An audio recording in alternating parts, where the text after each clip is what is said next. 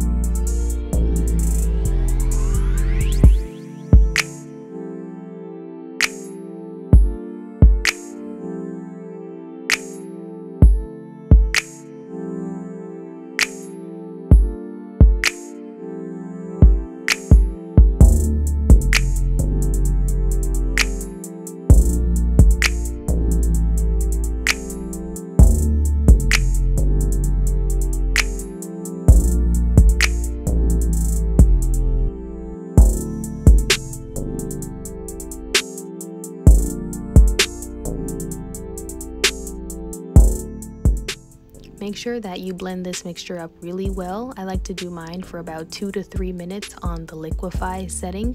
Some people strain out the pulp. I like to keep the pulp.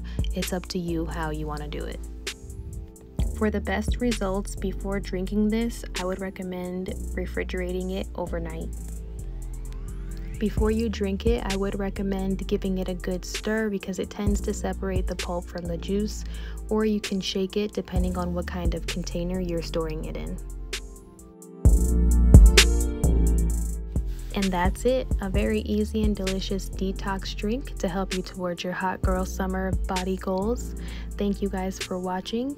Make sure that you subscribe to my channel, you hit the like button on this video, comment below, let me know what you'd like to see up next.